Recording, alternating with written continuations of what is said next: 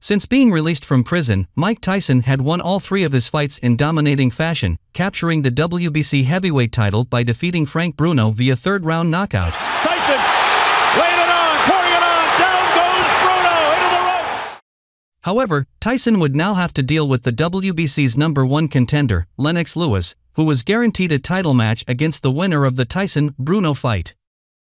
Rather than face Lewis, Tyson paid Lewis $4 million in order to step aside and allow Tyson to face Seldon for the WBA heavyweight title.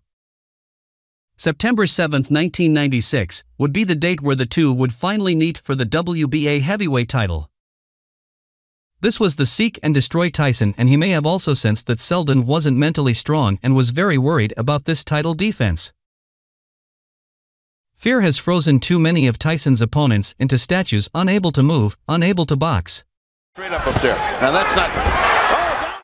The first knockdown, I thought he missed the punch, said referee Richard Steele, who did not begin counting over the fallen Seldon immediately, apparently thinking he had slipped. Nice long rest there, but he has felt. Back comes A trademark Tyson left hook would land moments later and drop Seldon for the final time.